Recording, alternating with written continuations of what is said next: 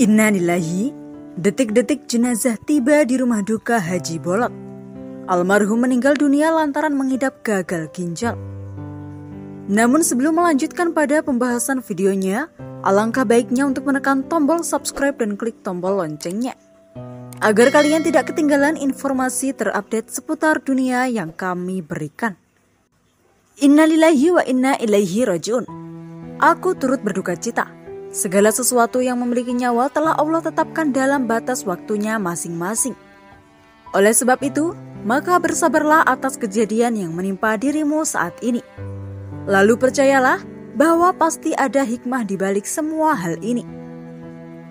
Kehilangan memang tidak pernah mudah, akan tetapi ingatlah selalu bahwa tidak ada cobaan yang diberikan oleh Tuhan dan melampaui kemampuan hambanya kamu pasti bisa bangkit dari rasa duka ini.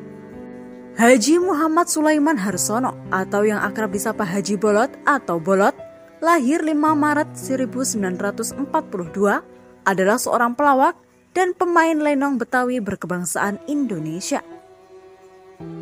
Namun belakangan ini kabar kurang mengenakan datang dari keluarga besar komedian Haji Bolot.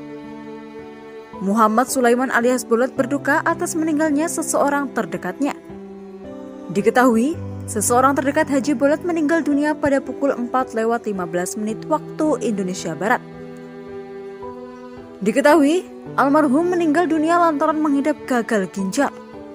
Sebelum meninggal, almarhum sempat dilarikan ke rumah sakit.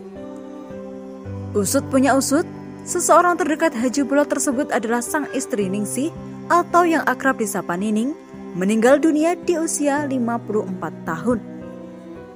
Almarhumah dimakamkan tidak jauh dari rumahnya di Kelurahan Jombang, Kecamatan Ciputan, Tangerang Selatan, Banten, Jawa Barat. Itulah tadi pembahasan dari kami. Terima kasih untuk kalian yang sudah menonton video ini mulai awal hingga akhir. Jangan lupa like, komen, dan subscribe.